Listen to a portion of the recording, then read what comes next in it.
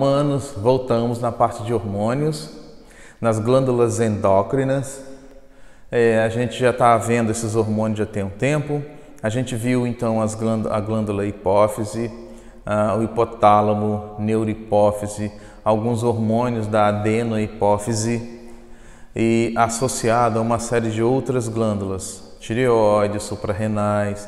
Então a gente viu já a, tireoide, a ação da hipófise com a tireoide, que é o TSH e a tiroxina, onde um regula a produção do outro, num processo chamado de feedback negativo. A gente já viu hipertiroidismo, hipotiroidismo e assim por diante. Bom, continuando na tireoide, vamos ver um outro mecanismo de feedback negativo interessante. Eu já montei aqui para vocês. A gente vai falar agora das paratireoides associadas às tireoides. As tireoides são glândulas que ficam no seu pescoço e as paratireoides são quatro pequenas glândulas que ficam aqui ajustadas e elas atuam juntos, tá bom? É, a gente está falando então da taxa de cálcio no sangue, que está aqui em verde, tem a sequência em verde aqui dele todinho. O que acontece é o seguinte, gente, é, o cálcio ele não atua só nessa parte de, de ossos, de, de sangue, ele tem uma série de outras funções. O cálcio ele vai ser muito importante para a formação dos ossos, mas o cálcio também é importante para a contração e distensão muscular. A actina desliza pela miosina na presença do cálcio, que vai ficar lá no retículo sarcoplasmático, que vai sair dessa organela e vai para o citoplasma para poder ligar a quitina para a miosina. Uma outra função do cálcio legal, que a gente vai ver depois, na parte de histologia, é a coagulação sanguínea. Então, para o fibrinogênio se transformar em fibrina, que é o coágulo, nesse processo todo da, da coagulação tem que ter a presença do cálcio para conseguir fazer a ligação desses, dessas proteínas, dessas enzimas. Tá legal? Bom, então esse cálcio é importante.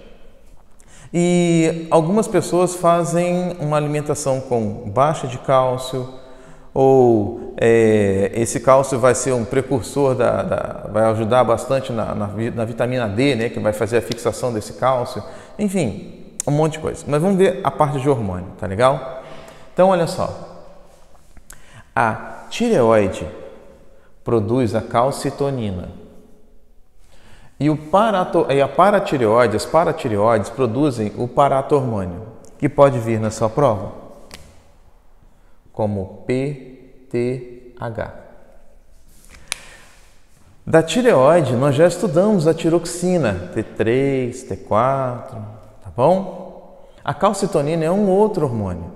Então, olha só como é que acontece. Toda vez que a taxa de cálcio no sangue aumenta, estimula a calcitonina. O que, que a calcitonina vai fazer? Vai pegar esse excesso de cálcio e vai mandar para os ossos.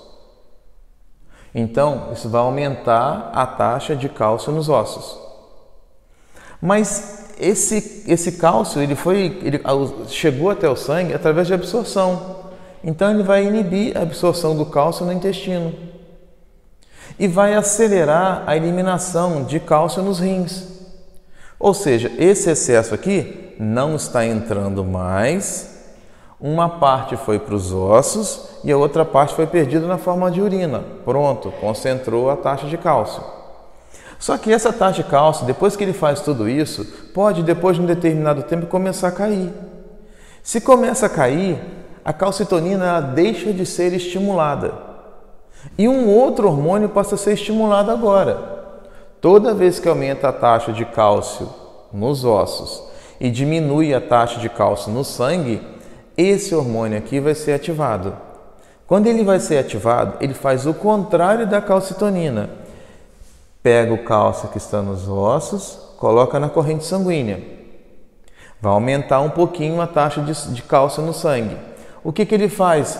Aumenta a absorção para entrar mais, aumenta a absorção de cálcio pelo intestino e diminui a sua perda pelos rins. Então ele vai aumentar a quantidade de cálcio preso no organismo, no sangue.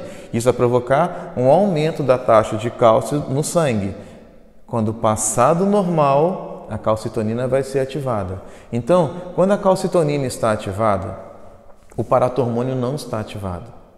Esse mecanismo onde um regula o outro é chamado de feedback negativo, tá legal? Então a gente já viu o feedback negativo com o TSH e a tiroxina, e agora a gente está vendo o feedback negativo da calcitonina com o paratormônio. Lembrando, a calcitonina é um hormônio produzido e secretado pelas tireoides. O paratormônio ele é um hormônio produzido e secretado pelas paratireoides e ficam todos aqui, tudo direitinho. A alteração nesses hormônios pode comprometer a taxa de cálcio nos ossos. Uma baixa de calcitonina, por exemplo, e um aumento de paratormônio saindo desse feedback pode aumentar a concentração de cálcio nos ossos. Como pode acontecer o contrário também, diminuir a taxa de cálcio nos ossos. Essa diminuição da, caixa, da taxa de cálcio nos ossos pode levar mais tarde a osteoporose ou alguma deficiência. Tá legal? Então, tira o print aí, não pode esquecer esses dois hormônios, a calcitonina e o paratormônio. O que a calcitonina faz e o que o paratormônio faz. Ok? Fechado? A gente se encontra daqui a pouquinho então. Falou, manos! Continuando a parte de hormônios, a gente vai descer mais um pouquinho e a gente vai chegar, passadas para a tireoide, a gente vai chegar no pâncreas. Legal? Pâncreas é uma glândula anfícrina ou mista. Ela tem a função endo e tem a função exo. A função exo, deve ter estudado em fisiologia da digestão, ele libera os sucos digestivos, o bicarbonato de cálcio, que vai cair na luz intestinal, tá legal?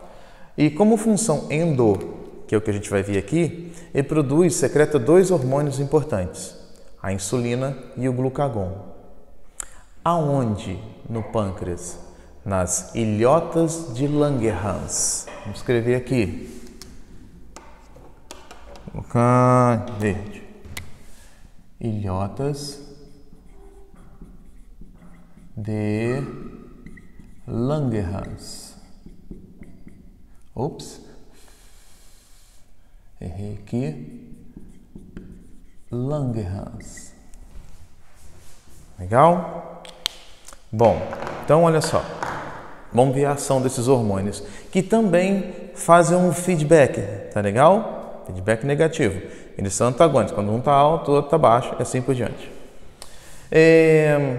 Quando você faz ingestão de uma quantidade muito grande de carboidratos, amido principalmente, você vai, esse amido vai ser quebrado no seu intestino, começa pela boca, termina no intestino delgado, vai ser transformado em maltase, maltoses e as maltases vão quebrar as maltoses e gerar glicose. Então vai entrar uma quantidade muito grande de glicose, tá legal? Toda vez que entra uma quantidade muito grande de glicose no seu sangue, ó, ok? Glicose no seu sangue, alta taxa de glicose. Essa alta taxa de glicose ativa, vamos colocar tudo em vermelho, tá? Em alto. Ativa o pâncreas a secretar a insulina. Então, o que provoca a ativação do pâncreas para secretar insulina é o aumento da glicose no sangue, ok? O que, que essa insulina vai fazer? Vai pegar essa glicose glicose. Vamos colocar insulina direito, né? Ficou assim meio feio. Insulina. A função da insulina é pegar essa glicose, primeiro, aumentar a absorção de glicose do intestino para a corrente sanguínea, pegar esse excesso de glicose e mandar para o fígado. Quando ele pega essa glicose e manda para o fígado, ele forma um composto muito importante. vou colocar aqui embaixo chamado glicogênio. Glicogênio. Legal? Esse processo aqui eu vou chamar de processo número 1. Um, hum, colocar assim: processo número 1. Um, e vou chamar aqui de glicogenogenese. Gênese. Gênesis é origem, é a origem do glicogênio.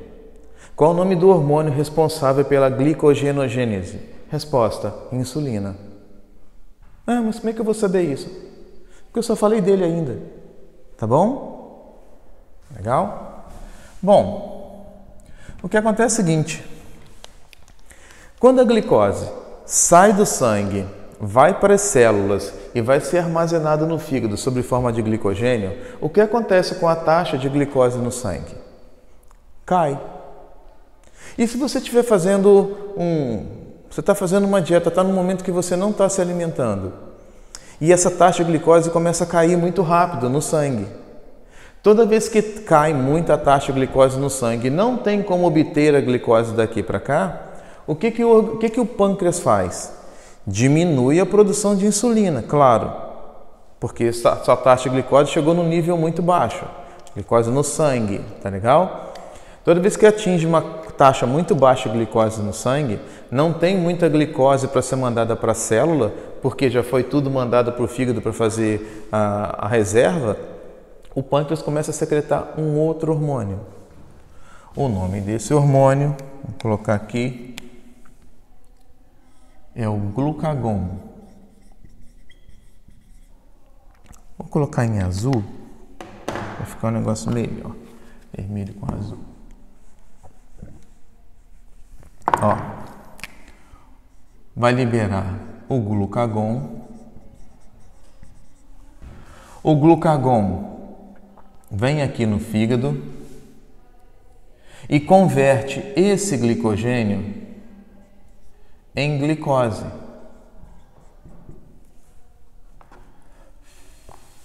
Vamos arrumar aqui. Esse glicogênio em glicose.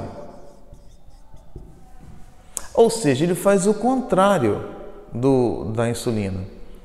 Se ele transforma esse glicogênio em glicoses, o que acontece com a taxa de glicose no sangue? Aumenta. Se aumenta, essa insulina volta a ser estimulada.